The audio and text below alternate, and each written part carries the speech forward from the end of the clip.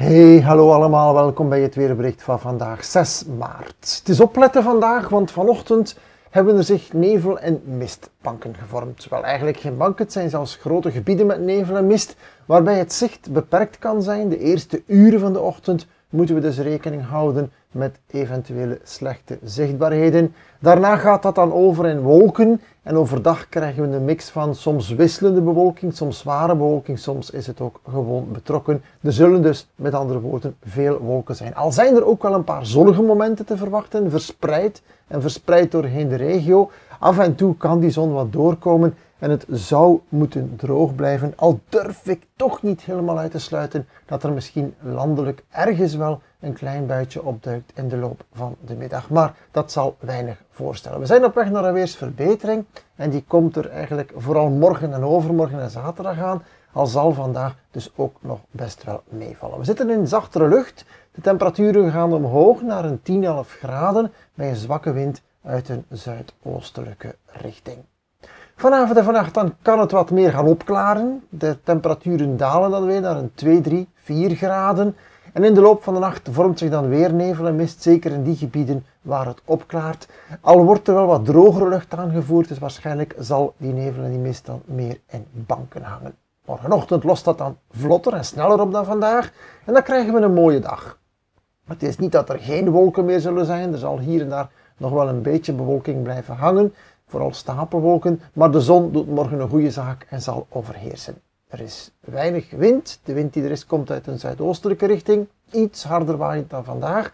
En de temperaturen gaan omhoog, morgen gaan we naar 11, 12, 13 graden zelfs hier en daar, dus dat zal een verademing zijn. De nacht naar vrijdag wordt dan weer een frisse nacht met minima rond een 1, 2, 3 graden. Misschien wat vorst aan de grond, mogelijk nog een nevel- of mistbank, al wordt de kans wel kleiner. En vrijdag overdag zijn er dan weinig of geen wolken meer. Wat hoge sluierwolken, maar daar raakt de zon vlotjes doorheen. We halen dan een 13 tot misschien wel 14 graden met heel veel zon erbij. Wel een wat aantrekkende wind uit een zuidoostelijke richting. Die kan aan zee vrijdag wel vrij krachtig worden. Zaterdag zit ook nog in het rijtje van mooie dagen meegenomen, maar de bewolking neemt wel weer toe. Er is minder zon en misschien dat er zelfs in de latere namiddag een plaatselijke bui opduikt, maar we halen dan wel 13, 14, misschien op vele plekken zelfs een 15-tal graden. Dus dat ziet er dan toch wel weer wat zachter uit.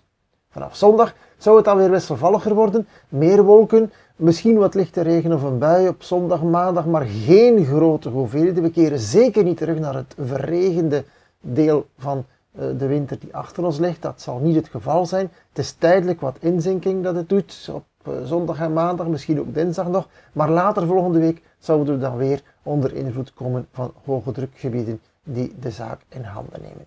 Kort samengevat dus, eventjes vandaag nog heel weinig, heel een klein beetje doorbijten. En dan krijgen we morgen en overmorgen en ook zaterdag nog deels die betere periode. Al zal het vandaag zeker ook nog wel meevallen. Ik zet er tenslotte nog even de pluim bij en dan zie je dat die onderste grafiek nog altijd weinig neerslagsignalen toont. We staan dus voor een drogere periode, met een aantal droge dagen zelfs.